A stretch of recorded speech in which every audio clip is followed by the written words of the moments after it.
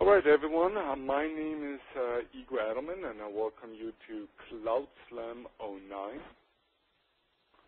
Um, you have um, joined a session with Nati Shalom, the CTO and co-founder of GigaSpace. Yeah, hi there, Igor. Uh, thank you for the uh, introduction. Uh, today what I'm going to talk to you is uh, basically uh, some of the, share with you some of the experience that we had with developing and deploying application on the cloud.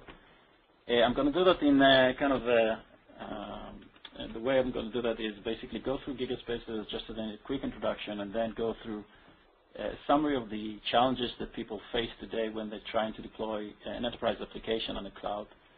And later on, what I'll try to do is kind of provide sort of a practical guideline on how, uh, based on our experience, is the best way to deal with that. Uh, and obviously, we'll end up with some uh, open session for questions, and hopefully that will be an interactive session.